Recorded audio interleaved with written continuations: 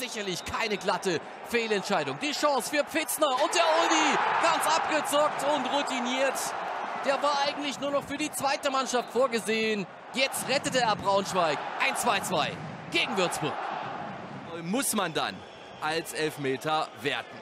Pfitzner hat gegen Würzburg zuletzt getroffen für Braunschweig.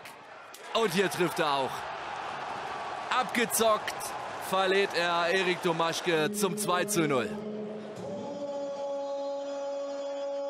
Überhaupt an den Arm oder an die Brust ist es nicht hundertprozentig zu sagen.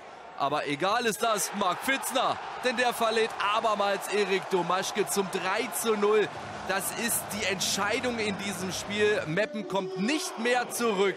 Und so gewinnt Braunschweig am Ende. Marc Pfitzner trat an. Zwei Elber verwandelte er gegen Meppen. Und auch der passt ganz genau neben den Pfosten zum 1 zu 0 für Braunschweig.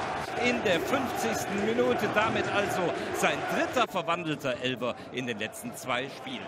Marc Pfitzner tritt an und verwandelt. 1 zu 0 Eintracht Braunschweig in Front. Mr. Elfmeter hat wieder mal zugeschlagen. Vor einer Woche noch 0 zu 1 in Halle verloren. Jetzt gelingt ihnen das Führungstor.